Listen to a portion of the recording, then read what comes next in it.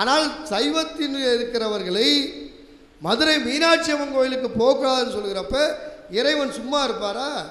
நீங்கள் யோசித்து பார்த்தீங்கன்னா சாமி கருவறையில் தனியாக இருக்க பயப்படுவார் யாராவது வந்து நமச்சிவாயவன் நல்லா இருக்கியா? நான் நல்லா இருக்கணும்னு கேட்டால் தான் சாமிக்கு தைரியம் வருமா? அப்படி இருக்கிறப்ப கோயில் அவர் அவ்வளோ தூரம் கொண்டு போய் நிறுத்தி வச்சா இவர் என்ன பண்ணுவார்? ஆறாயிரம் பேர் எதிரியாக இருந்தால் சாமி எப்படி சூரனை முருகன் சம்காரம் செய்தாரோ? எப்படி ராமன் ராவணனை சம்காரம் செய்தாரோ? எப்படி கிருஷ்ணன் அந்த கம்சனை சம்காரம் செய்தாரோ?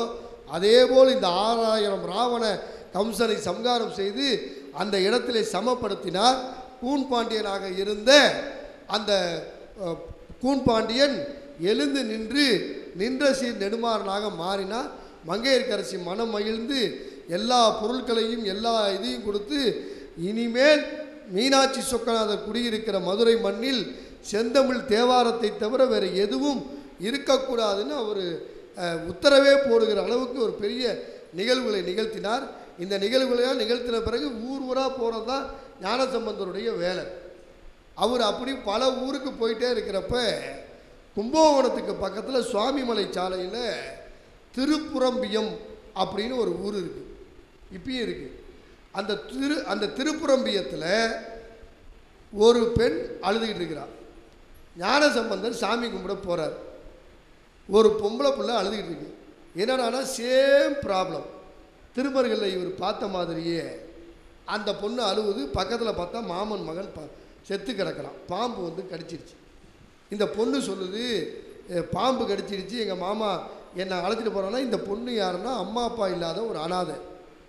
அழைச்சிட்டு வந்தவன் பாருங்க மாமன் அவனுக்கு ஏற்கனவே கல்யாணம் ஆயிருக்கு. ஆனாலும் ஆதரவு இல்லாத நம்ம மாமா பொண்ணை என்ன பண்ணுறது பரவாயில்ல ஒன்றுக்கு ரெண்டாக வச்சு நம்மளே பார்த்துக்கலான்னு சொல்லி அழைச்சிட்டு வரான். கல்யாணம் பண்ணணும்னு அவனுக்கு ஐடியா கிடையாது. அழைச்சிட்டு வரப்போ செத்து போயிட்டான். ஞானசம்பந்தர் பார்த்தார் ஏம்மா நீ கவலைப்படுற? நான் இந்த மணமகனை எழுப்பி உனக்கு தரேன்னு சொல்லி மீண்டும் விடம் நீங்கள் அதிகம் பாடி திருப்புறம்பயத்தில் அந்த மாமா பையனை எழுப்பி விட்டார். நீங்கள் எழுப்பி விட்டோன்னே எப்பயுமே இந்த சினிமாவில் வர மாதிரி ஏன் சொன்ன கேட்பானா நான் எங்கே இருக்கேன்ட்டு. அதே மாதிரி இந்த பையன் கேட்டால் நான் எங்கே இருக்கேன்னா? நீ எங்கேயும் இல்லை திருப்புறம்பயத்தில் தான் இருக்கேன் என்ன பண்ணுறதுக்கு வந்தேனே நான் என் மாமா பொண்ணு அழைச்சிட்டு வந்தேன். செத்த இந்த பொண்ணை தாலி கட்டி உன் மனைவியாக மாற்றிக்கேன்னார் ஞானசம்பந்தர் அவன் சொன்னால் முடியாது. எனக்கு ஏற்கனவே ஒரு மனைவி இருக்கிறா. நான் எப்படி ரெண்டாவது மனைவி கட்டிக்கேன்னா? அப்புறம் அவளுக்கு பாதுகாப்பு வேணும். இந்த பொண்ணுக்கு ஆதரவு இல்லை. நான் சாட்சி இருக்கிறேன். கல்யாணம் பண்ணுனார் நீங்கள் சாட்சி இருக்கீங்கங்க மதுரையில் என் மூத்த பொண்டாட்டி இருக்காளே அவள் கேட்டால் என்னன்னா சரி ஏன் சாட்சியை விடுறா? இங்கே பார் இந்த சிவலிங்கம் இந்த வண்டி மரம் இந்த கிணறு இது மூணு சாட்சி. நான் இது முன்னிலை தாலியை கட்டினார். அந்த பொண்ணு ரொம்ப சந்தோஷமாக தாலியை கட்டி க திருப்புறம்பயத்தில் தாலியை கட்டிடுச்சு. இன்றைக்கி நீங்கள் திருப்புறம்பயம் கோயில் பார்த்தீங்கன்னா விநாயகர் சதுர்த்தி அன்னைக்கு அந்த கோயிலில் எறும்பீஸ்வரர்னு சொல்லிட்டு விநாயகர் தேன் அபிஷேகம் பண்ணுவாங்க. அங்கே இருக்கிற விநாயகர் பார்த்தீங்கன்னா புத்து மண்ணால் செய்த புத்து மண்ணால் செய்த விநாயகர். நீங்கள் குட குடமாக தேன் ஊற்றினாலும் சரி அந்த விநாயகர் சதுர்த்தி அன்னைக்கு மட்டும் அந்த தேன் ஒரு நாள் தான் அபிஷேகம் பண்ணுவாங்க. தேனை தவிர வேறு பொருள் போட முடியாது. தண்ணியெல்லாம் ஊற்றுனோம்னா ஊற்றினோம்னா புத்து மண்ணு கரைஞ்சி பிள்ளையார் கரைஞ்சிருவார். அன்னைக்கு மட்டும் அந்த தேன் அபிஷேகம் நடக்கும். விடிய விடிய அதில் ஓ எத்தனை கிலோ தேன் ஊற்றுனீங்கனாலும் அந்த சுயம்பு விநாயகர் அத்தனை தேனையும் அவரே சாப்பிடுவார். வெளியில் ஒரு சொட்டு கூட வராது. இன்றைக்கும் அந்த திருப்பரம்பயம் கோயிலில் இருக்கிற விநாயகருக்கு அந்த திருப்பரம்பயம் கோயில் இந்த சம்பவம் நடந்ததுக்கு மதுரைக்கு எப்படா சம்பந்தம்னா இன்றைக்கி அந்த திருப்பரம்பயம் கோயில் இந்து சமய அறநிலைத்துறைக்கு சொந்தமானது அல்ல மதுரையில் இருக்கிற ஆதீனத்துக்கு சொந்தமானது. மதுரை ஆதீனத்துக்கு தஞ்சை மாவட்டத்தில் இருக்கிற ஒரு கோயில்னா அந்த திருப்பரம்பையம் கோயில் தான். அந்த சாமிக்கு பேர் என்ன தெரியுமா? சாட்சி சொன்ன நாதர்னு அர்த்தம். சாட்சிநாதர்னு பேர் அங்கே இருக்கிற சாமிக்கு பேர். அங்கே சொல்லிட்டு சம்பந்தர் போயிட்டார். அவர் பாட்டு போயிட்டார். இந்த பையன் இந்த பொண்ணை அழைச்சிட்டு மதுரைக்கு வந்துட்டான். மதுரைக்கு வந்தோன்னே வழக்கம் போல் ஏற்கனவே ஒரு மனைவி இருக்கிறப்ப இன்னொரு மனைவி வந்தால் என்ன நடக்குமோ எல்லாம் நடந்துச்சு. ஒரு விளக்கமாத்துக்கட்டையால் ஒரு நாலு அடி செருப்பால் ஒரு நாலு அடி எல்லாம் அடித்தாலும் இவன் சொல்லிட்டான் இந்த பொண்ணு அனாதை நம்ம தான் வச்சுக்கணும்னா சரின்னு வச்சுட்டான் அந்த பொண்ணோட பிள்ளையும் வளருது. மூத்தவருடைய பொண்ணு பிள்ளையும் வளருது. எப்பயுமே மனைவியாக இருக்கிற வரைக்கும் சண்டை வராது. பிள்ளைங்க வந்தால் தான் சண்டை வரும் இந்த ரெண்டு பொண்டாட்டி வீட்டிலலாம் ஏன்னா இந்த ரெண்டு பொண்டாட்டி வீட்டிலலாம் வாழ்கிறதே பெரிய கஷ்டம். ஆம்பளையும் வாழ்றது கஷ்டம் பிள்ளைங்களும் வாழ்றது கஷ்டம். ஏன்னா இவனுக்கு ஒரு பலகாரம் செஞ்சு கொடுத்தா அந்த பையன் கேட்பான் அம்மா அந்த வீட்டில் தோசை சுட்டிருக்காங்க. இவன் உடனே சொல்லுவான் சும்மா இருடா. நம்ம வீட்டில் ஆப்பம் சுட்டிருக்கோம். இதை பார்த்தா அவன் உடனே ஆப்பம் சுட்டுருவா. உங்கள் அப்பா ஏன்ட்ட சாப்பிட வர மாட்டான் அங்கே போயிடுவான். செத்த இரு சும்மான்னு சொல்லி இது ஒரு பெரிய ட்ரபுளாகவே இருக்கும். அந்த ட்ரபுள்லே ஒரு பெரிய ட்ரபுள் என்ன ஆகி போச்சுன்னா மூத்ததாரத்துடைய பையன் இந்த இளையதாரத்து பையனை ரொம்ப அடிச்சிட்டான். அடித்ததோட மட்டும் இல்லாமல் அந்த மூத்ததாரம் என்ன சொன்னான்னா நீ வந்து ஓடி வந்தவதானடி? என் புருஷன் உங்கள் அம்மா அப்பா செத்து போயிட்டாங்களே இறக்கப்பட்டு அழைச்சிட்டு வந்தால் நீ என்ன என்ன மாதிரி தாலி கட்டி குடும்பம் நடத்தி நீ ம அம்மி மிதித்து அருந்ததி பார்த்து மனைவியாக வந்தவளா? நீ அப்படி வந்தவ கிடையாது. சும்மா வந்தவ தானேன்ட்டா இந்த பொண்ணு அழுதுச்சு. ஏன்? சிவபெருமான் சாட்சியாக சம்பந்தர் பண்ணி வச்ச கல்யாணம். நேராக சோமசுந்தரமூர்த்தி ஆகிய சொக்கநாத பெருமான்கிட்ட போய் கேட்டுச்சு சாமி என்ன சாமி? ஞான சம்பந்தர் பண்ணி வச்ச கல்யாணம். நான் முறைப்படி தாலி கட்டி வந்தேன். என்னை வந்து மூத்தவள் இப்படி சொல்லுகிறாள். அதற்கு நீங்கள் தான் பதில் சொல்லணும்னா மதுரையில் உள்ளவங்களாம் வேடிக்கை பார்க்குறான். இது எங்கேயோ போணுச்சான் எங்கேயோ இருந்துச்சான் தாலி கட்டிக்கிச்சான் இதுக்கு சாட்சி இருக்குதா? இதை எப்படி நம்புறது அப்படின்னா. சாட்சி வேணும் கல்யாணத்துக்கு. நீங்கள் ஒரு நம்ம புராணத்தில் சொன்ன செய்தி இல்லை. ஒரு திருமணம் செய்கிறப்ப நிச்சயதார்த்த ஓலைன்னு ஒன்று எழுதுவாங்க. அந்த நிச்சயதார்த்த ஓலை எழுதுகிறப்ப பொண்ணோட தாய் மாமன் கையெழுத்து போடணும். மாப்பிள்ளையோட தாய் மாமன் கையெழுத்து போடணும். நிச்சயதார்த்த தண்ணிக்கு ஏன் தாய் மாமனை சாட்சி வைக்கிறாங்கன்னு யாருக்காவது தெரியுமா உங்களுக்கு? ரெண்டு பக்கமும் தாய் மாமனை வைப்பாங்க. ஏன்? அவன் ஒருத்தன் தான் தான் தங்கச்சியோட குடும்பம் கெட்டு போயிடக்கூடாதுன்னு கடைசி வரைக்கும் நின்று இதில் எந்த பிரச்சனை வந்தாலும் பேசி பஞ்சாயத்து பண்ணி அந்த கல்யாணத்தை முடிச்சு வைப்பாங்கிறதுக்கு தான் தாய் மாமன்ட்ட கொடுக்குறது. அந்த தாய் மாமன் கையெழுத்து தான் சாட்சி கையெழுத்து.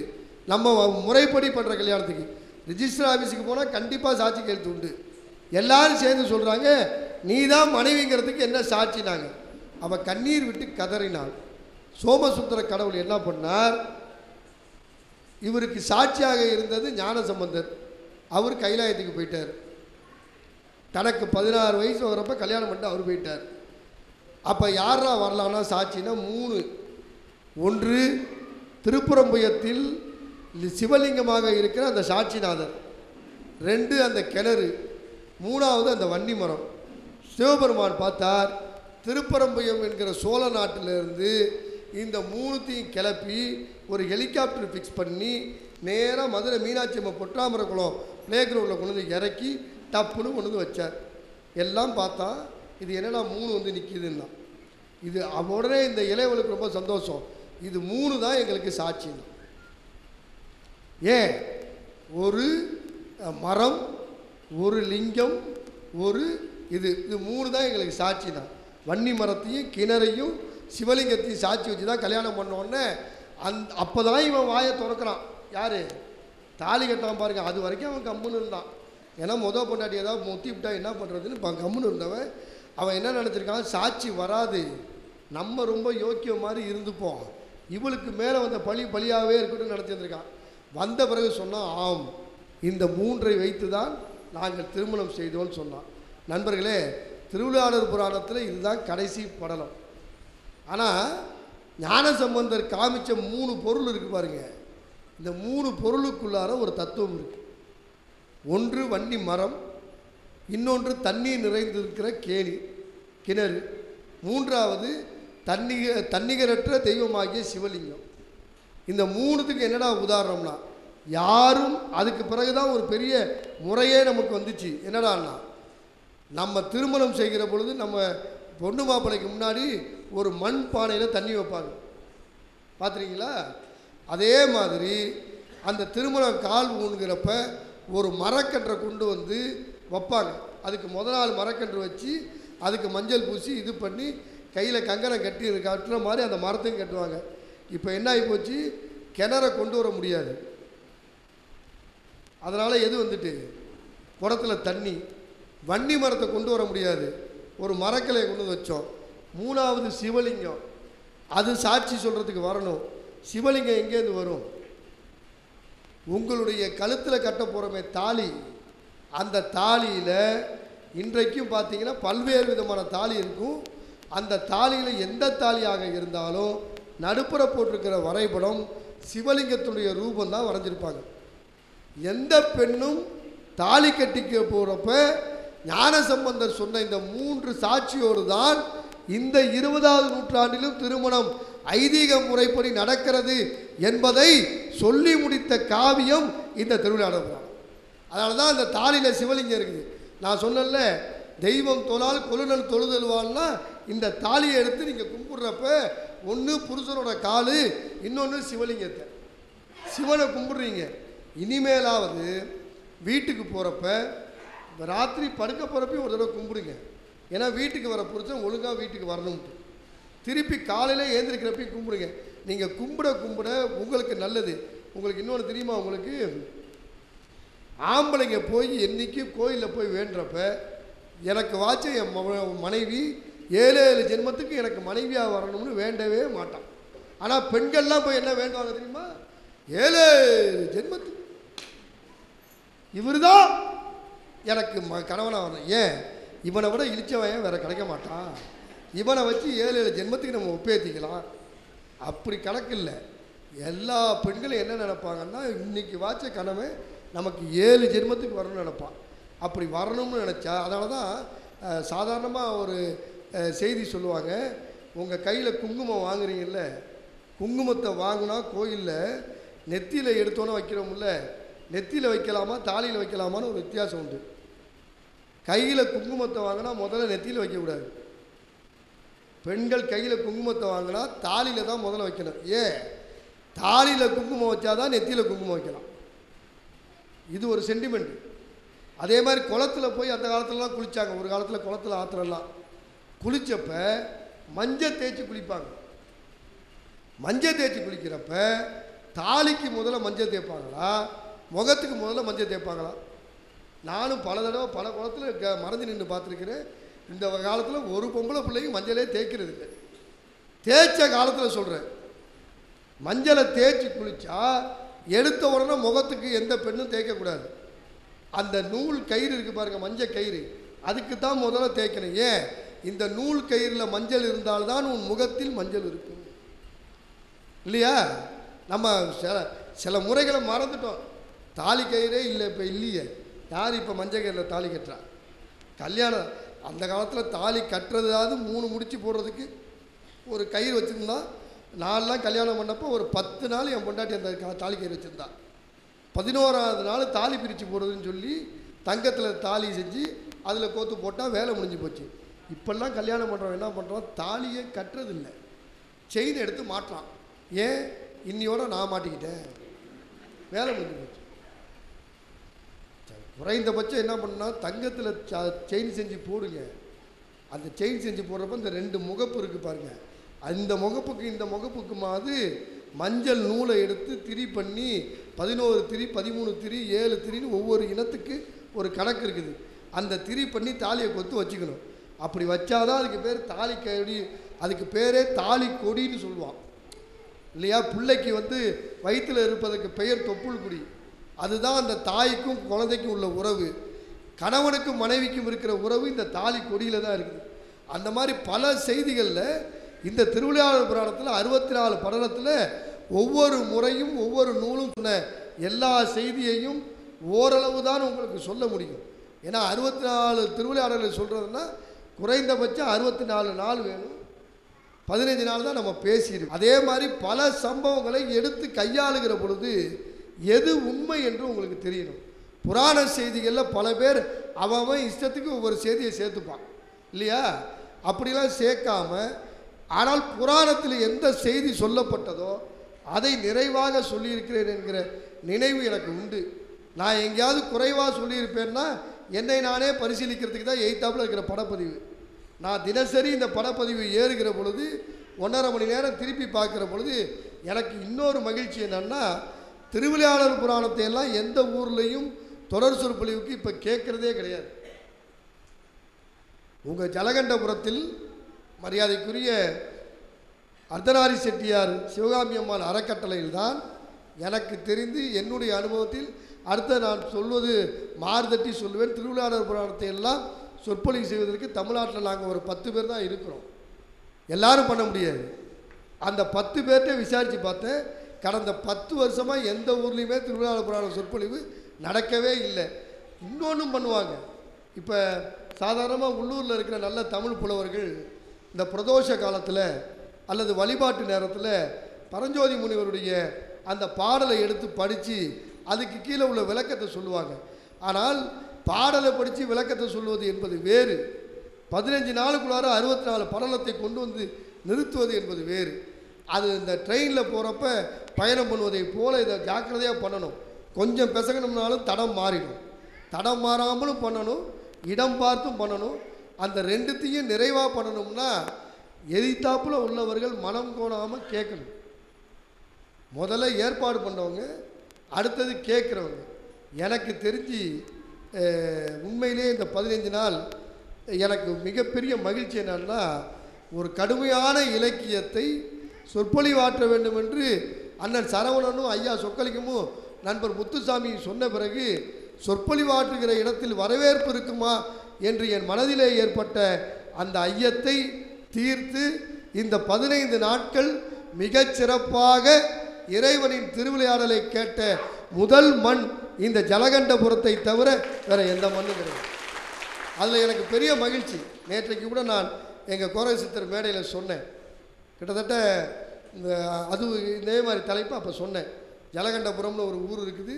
உண்மையிலே நம்ம போய் பண்ணால் அந்த ஊரில் போய் பேசணுண்டா அந்த ஊரில் தான் பண்ணணுன்றக்க எங்கள் கூட பட்டிமன்றம் பேசுகிற பேச்சாலும் நம்மளும் அந்த ஊருக்கு போமானன்றக்கா அண்ணன் சரவணன் அவர்களும் ஐயா சொக்கலிங்கம்னு சொன்னால் தொடர்ந்து இந்த தொடர் சொற்பொழிவு நிகழ்ச்சியை நான்கு வருடம் அல்ல நூறு ஆண்டுகள் கடந்தும் இந்த அறக்கட்டளை நிகழ்த்த வேண்டும். ஏன்? நல்லார் ஒருவர் உளரேனும் அவர் பொருட்டு எல்லாருக்கும் பெய்யும் மழைனா. சரவணனை போல ஒருத்தர் இருக்கிறதால தான் இந்த தமிழ்நாட்டில் இந்த இலக்கிய மழை பொழிந்திருக்குது தோன்றில் புகழோடு தோன்றுகன்னா வீடு கட்டலாம். முப்பது வருஷத்துக்கு தான் வீடு. மாளிகை கட்டலாம். ஐம்பது வருஷத்துக்கு தான். ஆனால் கோயில் கட்டினா மட்டும்தான் ஆயிரம் வருஷத்துக்கு உங்கள் பேர் சொல்லும். இல்லையா? ராஜராஜ சோழன் இந்த நாட்டிலே வாழ்ந்ததற்கு அவன் மனைவியோடு சந்தோஷமாக இருந்த அந்தப்புற அரண்மனை இல்லை. அடுத்த நாட்டுக்கு படையெடுத்த அவனுடைய குதிரைகள் கட்டி வைத்த லாயம் இல்லை. யானைகளை கட்டி வைத்திருந்த மிகப்பெரிய அந்த இடம் இல்லை. ஆனால் அவன் கட்டி வைத்த கோவில் ஆயிரம் ஆண்டுகள் கழித்தும் ராஜராஜன் கட்டிய திருக்கோயில் சொல்லுகிறது என்று சொன்னால் நாம் இங்கே வாழ்வதற்காக கட்டப்படுகிற கட்டிடங்கள் எல்லாம் தற்காலிகமானவை. இறைவனுக்காக கட்டப்படுகிற கட்டிடங்கள் தான் நிரந்தரமானவை. அது கற்களால் கட்டப்பட்ட கட்டிடம் அல்ல. உங்கள் மத்தியிலே என் சொற்களால் கட்டப்பட்ட கட்டிடம். இது நிரந்தரமாக உங்கள் மனதில் இருக்கும் என்ற நம்பிக்கையிலே தான் இந்த மேடையில் நான் இருக்கிறேன். நீங்கள் கல்லால் கட்ட கட்டணம் கூட இடிஞ்சிடும் சார். சொல்லால் கட்ட கட்டணம் இடியாது. இது ஒரு கோயிலை போல. திருவிளையாடல் புராணத்தில் அறுபத்தி நாலு படலம் என்பது ஒரு கோயிலுக்கு உள்ளார போனீங்கன்னா அந்த ஒவ்வொரு இடத்த பார்க்குறப்போ உங்களுக்கு அந்த நினைவு வரும். அப்படி நினைவு வருகிற இடத்துல நான் நின்றால் நான் உங்களுக்கு நன்றி கடன் பட்டவன். நினைத்து பாருங்கள் இந்த உலகத்தில் இறைவன் விளையாடியது நாலு யுகத்திலும் விளையாடி இருக்கிறான். இந்த கலியுகத்திலும் விளையாடி இருக்கிறான். இந்த கலியுகத்திலும் உங்களுக்கு பல விளையாட்டுகளை தருவான். அப்படி விளையாடுகிற விளையாட்டுகளை எல்லாம் ஒன்றே மட்டும் மனதில் வைத்துக் கொள்ளுங்கள். ஆட்டுவித்தால் யார் ஒருவர் ஆடாதாரே? அவன்தான் ஆட்டுகிறான் நாம் ஆடுகிறோம். இல்லையா? அந்த நினைவை மட்டும் வைத்து கொண்டால் நடப்பவையும் நடந்தவையும் நல்லவையாகவே படும். எல்லா இலக்கியத்தையும் படியுங்கள் எழுத்து கூட்டி படியுங்கள் எல்லா புத்தகத்தையும் படியுங்கள் வரி விடாமல் வாசியுங்கள். ஏன்னா புத்தகங்கள் மட்டும்தான் மேலிருந்து கீழ் படிக்குது. இல்லையா? அப்படி மேலிருந்து கீழ் படிக்கிற பொழுது தான் உங்கள் சிந்தனை மேலான இடத்திற்கு செல்லும் என்று சொல்லி ஒரு நல்ல வாய்ப்பு. தொடர்ந்து உங்களையெல்லாம் சந்தித்த பொழுது இன்னைக்கு உங்களிடமிருந்து விடைபெறப் போகிறோம் என்று நினைக்கிற பொழுது கொஞ்சம் ஒரு வருத்தமாக தான் இருக்குது என்ன வருத்தம்னா இந்த மாதிரி பேசுகிற பே பேச்சை கேட்குற பார்வையாளர்களை நீ எந்த ஊர்லேயும் பார்க்க போகிறதில்ல அதுலேயும் பார்த்தீங்கன்னா எல்லா வயசுலையும் இருக்கீங்க. பத்து வயசில் தொடங்கி அறுபது எழுபது வயசு வரைக்கும் எல்லா ஏஜ்லேயும் இருக்கீங்க. இந்த மாதிரி எல்லா ஏஜ் குரூப்பும் கேட்காது. திருவிழாட புராணமாக பெரிய புராணமாக பேசுகிறோம்னா தலையெல்லாம் நரைச்சி போய் காது கேட்காம கண்ணு தெரியாமல் வேறு வழி இல்லாமல் வந்து உட்காந்து ஒரு பத்து கேட்கும். ஆனால் ஜலகண்டபுரம் அப்படி இல்லை. நல்ல திருஷ்டியான ஜ- ஆண்களும் நல்ல திருஷ்டிப்படுகிற அளவுக்கு அழகான பெண்களும் அறிவார்ந்து கேட்டிருக்கிறீங்க. உண்மையிலே உங்கள் அத்துணை பேருடைய பாதத்துக்கும் என்னுடைய மனமார்ந்த நன்றிகளை மனம் மொழி மேய்களால் சொல்லுகிறேன். மறந்து விடாதீர்கள். மறந்தும் இருந்து விடாதீர்கள். இரவிலே படுக்கும் பொழுதும் காலையில் எழுகிற பொழுதும் நாள் முழுவதும் நமச்சிவாய் என்ற மந்திரத்தை சொல்ல வேண்டிய அவசியம் இல்லை. ஒரு பொழுதை முடிக்கிற பொழுது ஒரு பொழுதை தொடங்குகிற பொழுது மட்டும் நமச்சிவாய என்று சொல்லி பாருங்கள். உங்கள் வாழ்க்கையில் எல்லாம் உள்ள சிவபெருமான் எல்லா வளங்களையும் தருவார். இது சத்தியம். இது நான் படித்த தமிழ் இலக்கியத்தின் மீது ஆணை என்று சொல்லி வான்மிகில் வளாது வைக மலிவளம் சுரக்க மன்னன் கோன்முறை அரசு செய்க குறைவில்லாத உயிர்கள் வாழ்க. நான்மறை அறங்கள் ஓங்க நற்றவம் வேள்வி மல்க. மேன்மைக்குள் சைவ நீதி விலங்குக உலகமெல்லாம். மேன்மைக்குள் சைவ நீதி விலங்குக உலகமெல்லாம். நன்றி வணக்கம்.